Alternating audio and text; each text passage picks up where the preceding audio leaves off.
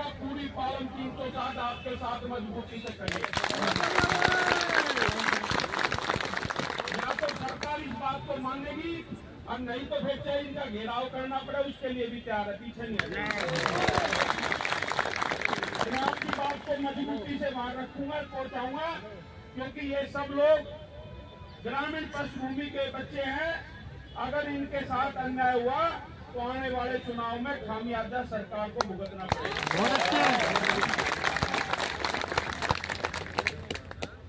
तो मैं आपसे इतनी बात कहूँगा कि जहाँ भी आप लोग याद करोगे मैं आपके साथ कर रहा हूँ लेकिन अपनी इस लड़ाई को राजनीतिक रूप मत लेने देना। बिल्कुल सही बात है ये। राजनीति के चक्कर में कमज़ोर होती है लड़ाई और आप सब तो नौजवान साथी हो आप तो ना सिर्फ़